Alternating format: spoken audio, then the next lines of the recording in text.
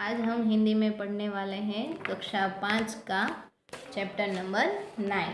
Okay, कैसा शोर? चलो, यहाँ पे आपको एक चित्र दिया हुआ है। तो चित्र में क्या है? यहाँ पे एक चाचा दिए हुए हैं जो पेड़ के नीचे सोए हुए हैं। ओके, और ये पूरा क्या है? खेत है। जो खेत है वो किससे भरा हुआ है? पूरी सब्जियों से भरा हुआ है। तो ये जो पूरा चैप्टर है वो पूरी सब्जियों के बारे में है कि कौन कौन सी सब्ज़ियाँ अच्छी है जो कि सारी सब्ज़ियाँ अच्छी है लेकिन सारी सब्जियों के अपने एक अलग अलग डिफरेंट डिफरेंट टेस्ट है और उसके गुण हैं जो यहाँ पे बताए हैं। बिरजू चाचा ने अपने खेत में सब्ज़ियाँ बोई थी। क्या बोया था? सब्ज़ियाँ। दोपहर का समय था। बिरजू चाचा पेड़ की छाया में आराम से लेटे थे कि उन्हें नींद आ गई। दोपहर का समय था। वो थके हुए थे, इसलिए क्या हुआ था कि वो सो गए थे। ओके, ठीक है तो आराम से लेटे कि उन्हें नींद आ गई। तब खेत की सारी सब्ज़ियाँ खेलने के लिए इकट्ठी हुई। क्या हुआ कि बिरजू चाचा तो सो गए तो सब्जियों ने सोचा कि चलो हम खेल लेते हैं। ये सभी खेलते खेलते नोक झोंक पर उतर आई। तो खेलने तो लगी, लेकिन वो एक दूसरे के साथ क्या करने लगी? नोक झोंक आलू ने कहा मैं सब सब्जियों में सरताज हूँ। उसने क्या कहा कि मैं सब सब सब्जियों में सरताज। सरताज मतलब आ, उसके बिना नहीं चलता ऐसा। सभी सब्ज़ियाँ मेरे बिना अधूरे हैं। उसने क्या कहा कि मेरे बिना सब अधूरा है। बच्चों बूढ़ों को मैं बहुत भाता हूँ। मैं सबको अच्छा लगता हूँ। चाट, चिप्स टिकिया जैसी चटपटी और मज़ेदार खाने की चीज़ें मुझसे ही बनती है। आपको पता ही है, आप बनाती हो घर पे चिप्स है टिकिया है, जो किससे बनती है? आलू से बनती है। शकरकंद ने कहा, मैं आलू का मित्र हूँ। मुझे भी लोग बहुत पसंद करते हैं। आपने शकरकंद खाया ही होगा ना? वो स्वीट पोटैटो कहलाता है। ओके मुझे भी लोग बहुत पसंद करते हैं। तब मटर उछल कर बाहर आ गए और कहने लगे हमें भूल गए। मटर जो है वो उछल कर बाहर आ गए और क्या बोला कि मुझे भूल गए। कई प्रकार की सब्ज़ियाँ पुलाव और चटपटी कचौरी में जान है हम कि उससे क्या क्या बनता है। पुलाव कचौरी और सब्जियों में भी हम क्या यूज़ करते हैं? मटर। उसी समय लौकी और गाजर कूद पड़े। कौन आया? लौकी और गाजर। रायता कोफ्ते और हलवा हमारे बिना कैसे बन सकते हैं? क्या बोला उसने? लौकी और गाजर में आ, से रायता कोफ्ता और हलवा वो इससे बनता है। लौकी बोली।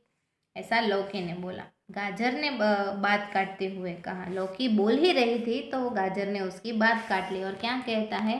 हलवा तो मेरा भी बनता है। क्या कहा उसने कि मेरा भी हलवा बनता है? मेरा रूप रंग देखा है, कितना सुंदर लाल है रंग मेरा। गाजर ने कहा कि मैं तो लाल कलर का सुंदर हूँ। नाम सुनते ही मुँह में पानी आ जाता है कि मेरा तो नाम सुनते ही लोगों के मुँह में पानी आ जाता है। मुझे खाने से लोग क्या रहते हैं? स्वस्थ रहते हैं, यानी कि उसकी जो हेल्थ है, लोगों की अच्छी रहती है। यह सुनकर पत्ता गोभी आ गई। मैं भी आरोग्य के लिए उपयोगी हूँ। क्या कहा पत्ता गोभी में कि मैं भी लोगों की हेल्थ के लिए क्या हूँ? यूज़फुल हूँ। सब, सब्ज़ी के अलावा कचुम्बर और सलाद में भी मेरा स्थान है कि पत्ता गोभी में से क्या क्या बनता है? सब्ज़ी बनता है कचुम्बर बनता है और सलाद भी बनता है। तो ये इतनी सारी सब्ज़ी आई तो मिर्ची पीछे क्यों रहे भाई?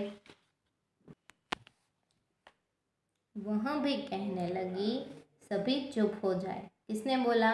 मिर्ची ने। क्या बोला कि सब चुप हो जाओ?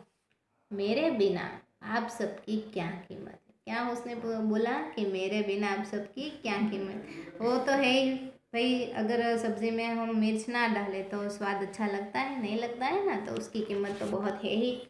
मेरे बिना सभी सब्ज़ियाँ फीकी है। उसने कहा कि मेरे बिना तो सब फीका फीका लगेगा। मैं पतली और चुस्त हूँ। मैं दिखने में कैसी हूँ? पतली। भिंडी भी अपनी कोमलता और अनूठे स्वाद की प्रशंसा करने लगी। उसके बाद क्या आया? मिर्ची के बाद भिंडी। उसने अपनी कोमलता और अनूठा स्वाद मतलब एक अलग प्रकार के स्वाद की प्रशंसा करने लगी। अब करेला कैसे चुप बैठता? सारी सब्ज़ी तो आई थी। बचा हुआ क्या, कौन? कड़वा करेला, वो भी आया। वह बोलने जा रहा था तो टमाटर ने उसकी बीच में ही रोक दिया। टमाटर ने क्या बोला? करेला, तू चुप रहे, मुझे बोलने दे। तेरा नाम सुनते ही बच्चे दूर भागते हैं। क्या बोला उसने? कि करेला बच्चों को अच्छा नहीं लगता, वो उससे दूर रहते हैं। आप में से किसी को करेला अच्छा लगता है? मुझे तो लगता है भाई, करेला खाना चाहिए, हमारे हेल्थ के लिए अच्छा है, ठीक है ना?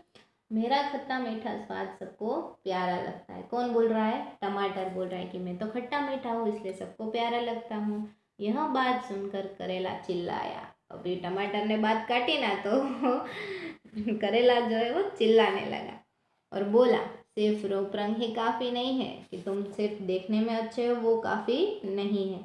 ज्वर जैसी बीमारियाँ ठीक करने में लोग मेरा प्रयोग करते हैं। किसका प्रयोग करते हैं? करेला का। बीमारियाँ ठीक करने में है। आपको पता है ना, मम्मी बोलती है, सिर्फ़ मीठा नहीं खाना चाहिए, थोड़ा कड़वा भी खाना चाहिए, इसलिए आपकी हेल्थ ठीक रहती है। आखिर में कलगीदार बैंगन आया। कौन आया? बैंगन। और बैंगन तो पता ही है आपको कि बहुत सारी चीज़ों में यूज़ करते हैं हम, जैसे बैंगन का भरता बनाते हैं, है ना? और उसे वेजिटेबल का किंग भी बोला जाता है।